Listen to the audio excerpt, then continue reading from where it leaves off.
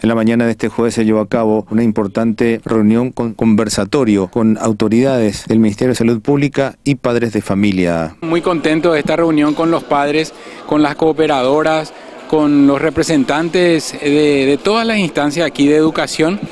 Eh, este conversatorio representó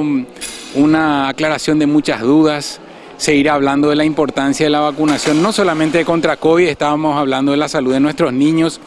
en plena campaña de vacunación contra sarampión, rubiola, poliomielitis, lo que se refiere también al programa regular, revisar un poco el carnet de vacunas, a ver si hay alguna que postergamos y también hablar de lo que se refiere eh, recibir críticas y sugerencias de ellos hacia la atención que nosotros brindamos y cómo le hacemos en los vacunatorios. Muy importante, así que muy contento de haber participado de esta reunión. ¿En todo el país este tipo de conversatorio con los padres?